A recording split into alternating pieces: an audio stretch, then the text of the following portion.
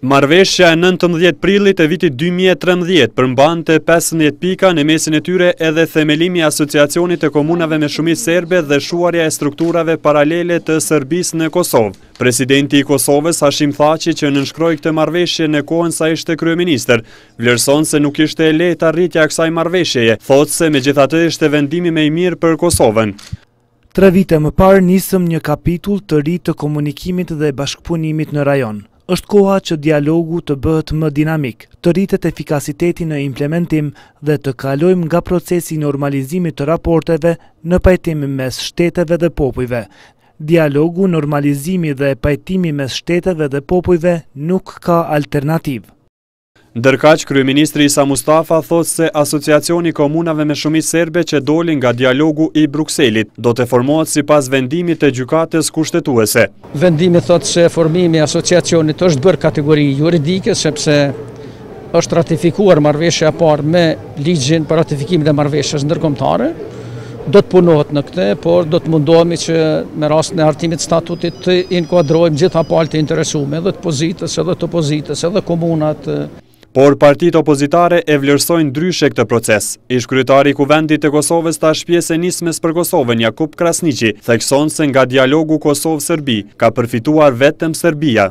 Serbia në planin e jashtëm ka fituar, Pse ka fituar? Se rruga e saj është trasuar bukur mirë rreth integrimeve. Ata e kanë liberalizimin e vizave, kurse Kosova s'e ka marrë as liberalizimin e vizave, e ka marrë një MSA kogja gjysmake, për shkak se Kosova nuk njihet si shtet i pavarur, por njihet si shtet me me fusnotë. Krasniqi vlerëson se dialogu Kosovë-Serbi duhet të vazhdojë, vetëm për çështje teknike.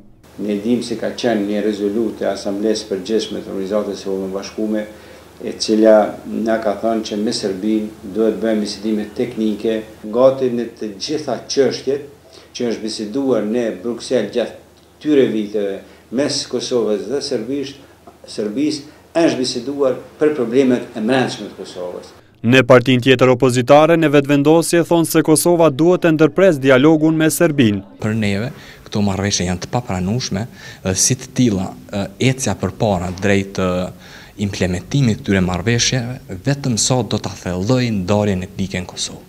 E thellimi i ndarjes etnike në Kosovë nuk do të jetë garancë garancë e paqës. Por, kryeministri Mustafa thekson se dialogu me Serbinë ka arritur që në një masë të normalizojë raportet mes dy shtetesh.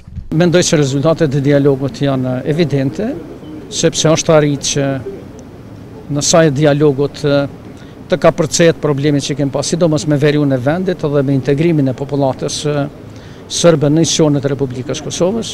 Sot ne kemi komunikim me gjithë kryetarët e komunave të veriut, ata kanë pranu buxhetin e Republikës së Kosovës, ata i kanë pranu zbatimin e ligjeve të Republikës së Kosovës, është arritë edhe në shpërbërjen e mbrojtjes civile në veri të vendit.